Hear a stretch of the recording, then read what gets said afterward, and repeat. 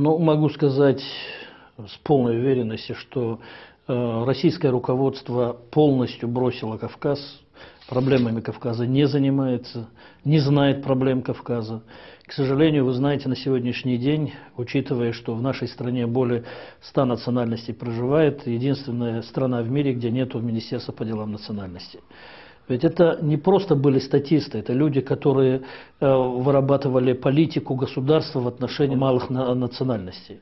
То, что касается Кавказа, на сегодняшний день э, на Кавказе 70% населения не имеет работы. Молодежь до 25% населения уже не умеет читать и писать не ходят в школы, школы сокращаются, количество школ за это время уменьшилось по официальной статистике на 30%. Э, не, не строятся детские сады.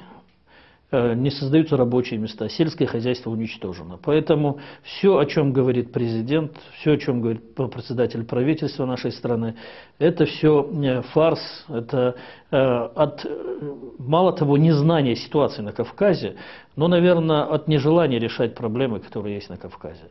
А с другой стороны, складывается такое впечатление, что им, наверное, выгодно держать вот на Кавказе такую ситуацию взрывоопасную, когда можно будет отвлечь э, очередной войной опять, если настанут тяжелые времена, а очередной войной опять отвлечь внимание нашего населения, что э, посмотрите, какая политика сегодня в стране ведется. Во всем виноваты кавказцы. Почему плохо живется центральной России? Да потому что колоссальные средства Россия вынуждена вкладывать Кавказ. Я могу вам сказать, как депутат парламента Республики Северная Осетия Алания. Бюджет нашей республики дотационный. Когда-то в нашей республике в советские годы работало более 50 предприятий только военно-промышленного комплекса. Сельскохозяйственные предприятия были одними из мощнейших в нашей стране. Мы сейчас возрождаем один из коллективов, колхоз «Кавказ», который в свое время дал двух героев социалистического труда, шесть кавалеров орденов Ленина, э, два члена Верховного Совета СССР, депутата Верховного Совета СССР оттуда вышли. Э, этот коллектив был не самым крупным, не самым э, большим, средний коллектив, но вот, вот такие были достижения у этого коллектива. Сегодня от этого коллектива осталась только печать. И вот когда наши люди э, к нам пришли и сказали, что дальше так жить нельзя, детей надо кормить, вы же знаете, что разделили на Кавказе на самом деле, там явно просматривается, что людей разделили на торговцев и на охранников. Одни охраняют других, которые...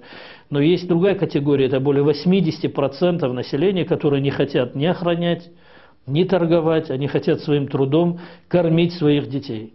И когда мы начали восстанавливать коллективное хозяйство, если бы вы видели, с какой э, радостью люди выходили на работу, э, даже вот э, настолько светились люди, лица людей, когда мы их спрашивали, чему вы радуетесь, ведь говорит, вы нам подарили не просто возможность работать, вы нам подарили свободу.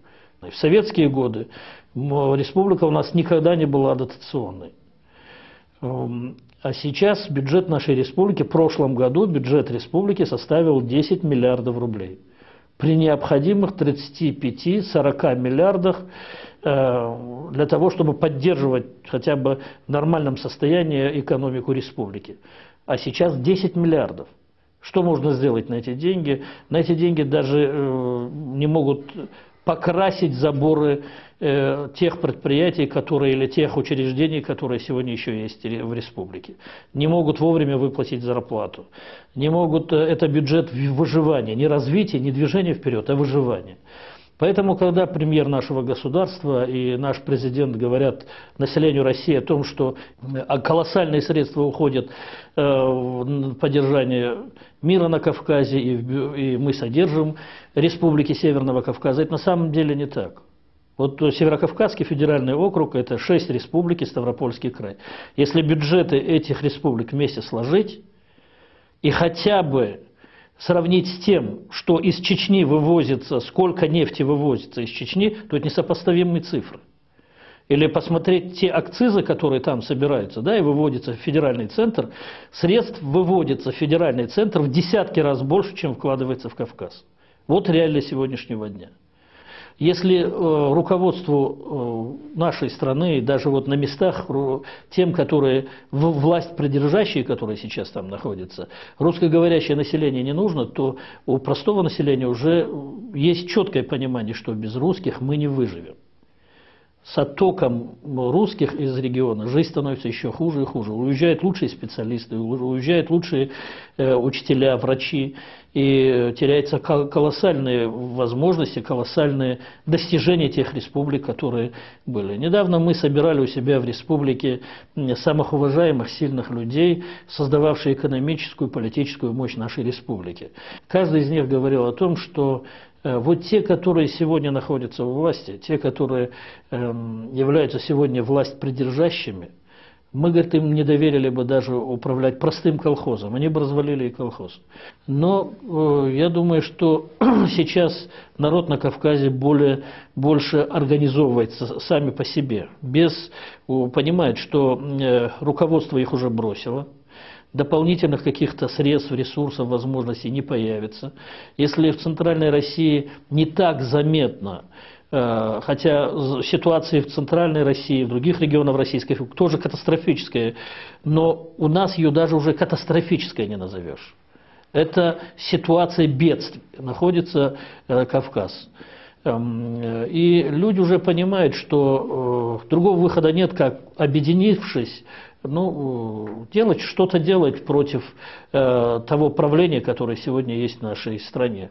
Могу сказать, что неделю назад буквально к нам в партию написал заявление и вступил в партию э, э, бывший командующий 58-й ар, 58 армии, легендарной армии. Э, это Виктор Иванович Соболев, генерал-лейтенант, с 2003 по 2006 год командовал 58-й армией, потом был военпредом в Индии. Сейчас, приехавший, вернувшись на Кавказ, живет у нас в Владикавказе. Он знает всю ситуацию в армии изнутри. А вы знаете, 58-я армия – это легендарная армия, это э, где прошли, к сожалению, к огромному сожалению, колоссальные сокращения. Люди выброшены без работы на улицу. Э, это старшие офицеры, которые прошли э, горячие точки. Это те, которые спасли Южную Осетию от э, сакашистов. Вот эти люди сегодня бесславно выброшены на улицу, вынуждены устраивать, ждать, когда им предоставят квартиры, вынуждены э, нищенствовать фактически. И они тоже поворачиваются, понимают, что другой силы, чем коммунистическая партия, нет. И когда люди сталкиваются с тем, что детей кормить нечем, э, национальные традиции выполнять невозможно – тогда что вы хотели? Тогда у этих людей, э, кроме злости, ничего не набирается. И тогда вот тебе для ваххабитов, вот тебе для лесных братьев и почва для того, чтобы привлекать к свою сторону. Сколько мы об этом говорим, что без создания рабочих мест для молодежи, без принятия специального закона по молодежи, когда гарантировано первое рабочее место, Владикавказ э, студенческий город. Учится у нас в Владикавказе более 40 тысяч студентов. Это и высшие учебные заведения, и среднеспециальные и так далее.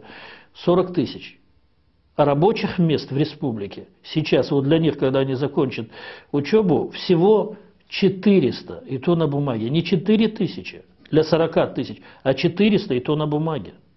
Но я вас уверяю, что на Кавказе живут очень трудолюбивые, очень скромные и очень умные люди, мудрые люди, которые умеют, хотят и любят работать. Им надо создать условия.